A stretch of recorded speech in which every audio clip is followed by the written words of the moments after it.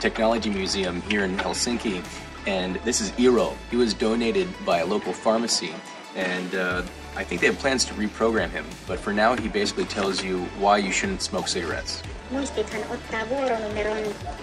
Sen saa tuosta kollegaaltani. I was really hoping to see a museum on Nokia, the telephone company, but unfortunately there isn't one. This might be about as close as I get. Some old Nokia stuff here. This is uh, some type of old telephone switching equipment.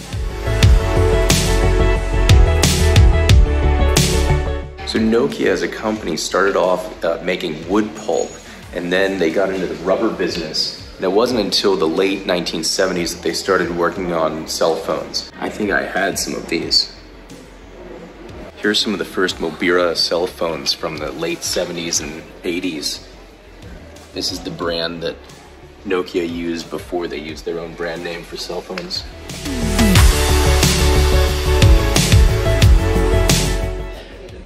These are some of the first pagers.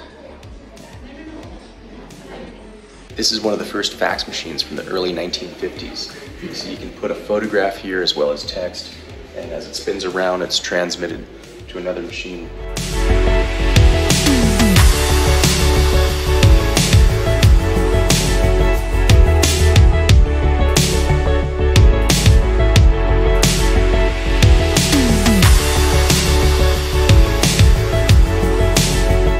This room, they have different kits that were used. This was one of the first televisions, and you had to build it yourself. And uh, you can see the cabinet. It looks like it's screwed together. Here's the back of it. And over here, we've got some radio kits. I need to build one of these. I think that'd be interesting. Nokia was building computers from 1981 through 1990.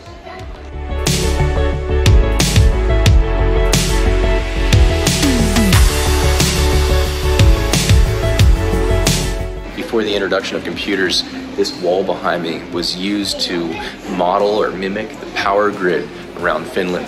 So they would use these little plugs that would represent a power line running from one city to another. And in that way, they could see if there were any problems developing. This is an Edison dynamo from 1882.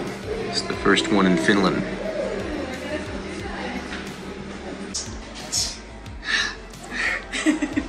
You're so strong. So that's a Fiat?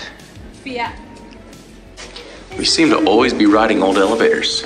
1920 elevator. And this belonged to the bank here in Helsinki. We're gonna take this elevator from 1920.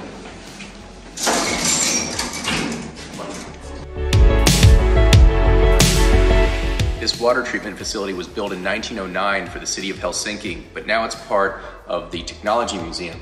In each of these 14 basins, they're filled with about eight feet of sand, and this whole thing would spin and pulling water up through the sand, and then it would spill out over this edge. And that was the filtration method they used until it was replaced, I think, in the 1980s.